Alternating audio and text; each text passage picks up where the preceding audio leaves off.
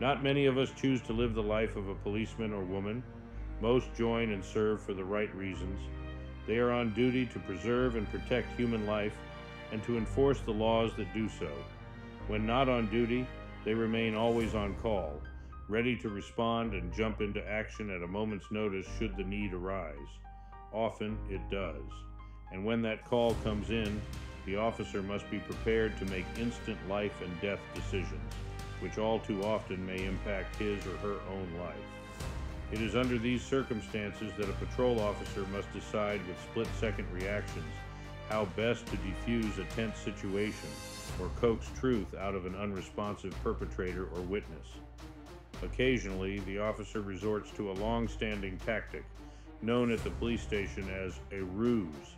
He releases bits of misinformation with the greater good and a better outcome in mind. The practice does not always work.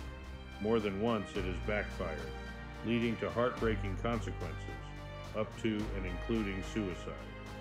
After that happened in Seattle, new police department rules were imposed, strictly limiting the dissemination of ruses by patrol officers.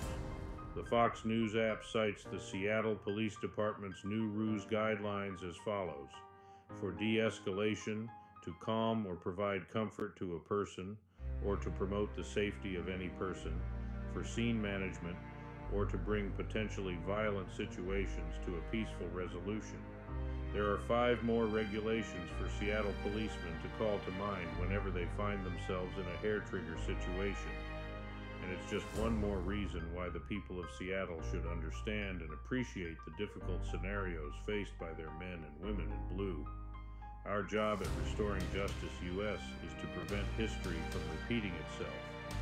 Learn more of what we are doing and how you can help.